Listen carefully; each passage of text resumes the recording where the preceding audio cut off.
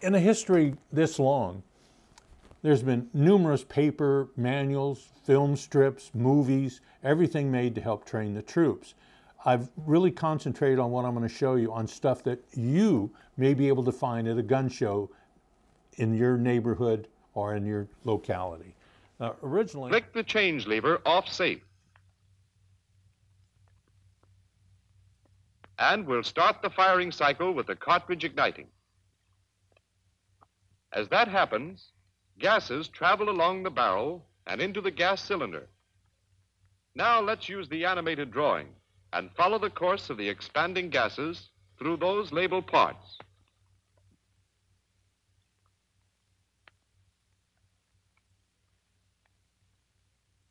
When the gas reaches the well, it hits the gas piston plug and drives the piston to the rear.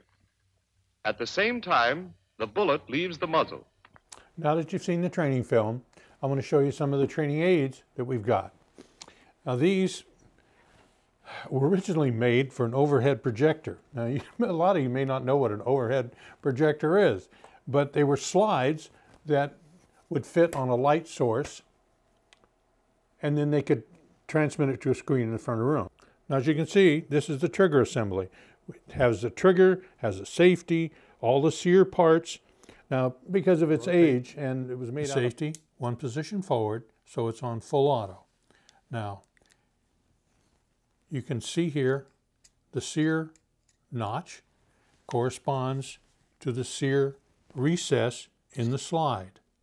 And that's what holds the slide to the rear.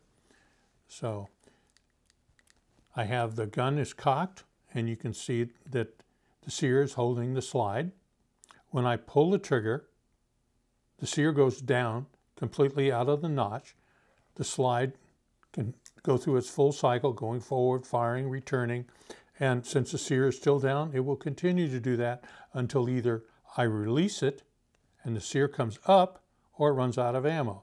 Let me show you Now, again what we're talking Sometimes you can see the rivets on the inside and sometimes you can see them on the outside. But there are times when you can't see it and it looks like the rails are actually part of the original receiver. Now on this side, you really can't see any evidence of the rivets. I'm going to rotate it over onto the other side. On this side, you can actually see the heads of the rivets. Now the reason it's important for you to know that these are separate parts. If somehow they fracture or break, they can be repaired. But don't take them out to see what's underneath them. Don't want to do that. Now we're going to take the bolt out. Now, I have to rotate it so I'm going to show you how to change the extractor without taking anything else apart.